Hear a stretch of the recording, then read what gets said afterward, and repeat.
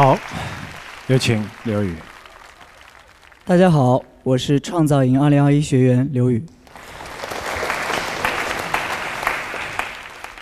刘宇今天会站在什么位置？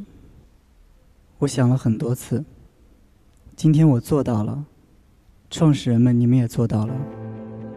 我想告诉你们的是，是你们的光，唤醒了我心中的那颗种子。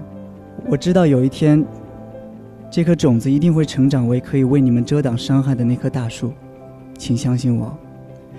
我还要感谢九十位学员，是你们创造了这么热血、这么深刻、这么包容的国际比赛环境。你们真的很优秀。我来节目之前，会有这样跟我说：说，其实你不太适合这个节目。为什么？因为我从四岁开始学习中国舞。每一天都在跳，这个东西已经刻到骨子里了。然后就担心我，说来到这个节目之后会不会没有成绩？恭喜刘宇，主题曲的中心位。创造营也是做了三季了，第四季是国际版，这一点是最吸引我的地方。首先对我来说是个冒险，同样也是个机会。我觉得如果我能来这儿。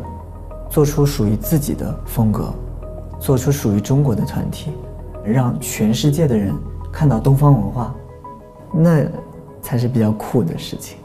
既然今年是做国际团体，那我就搏一搏。我更希望有人可以比我做得更好，来站到这个位置，更好的帮助我们这个国际团队可以发挥出最强大的力量。但是，只要我刘宇站在这里一分钟。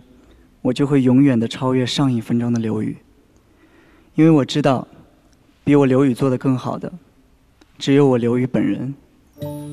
谢谢。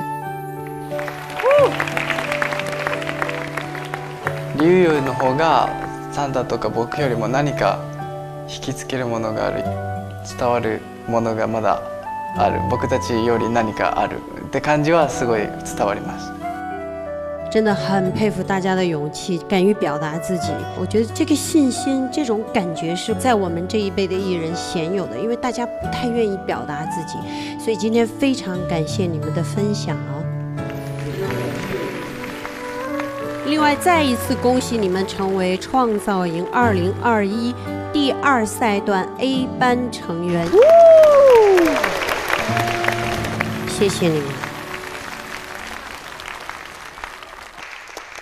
至此，创造营2021第一次顺位发布已经全部结束。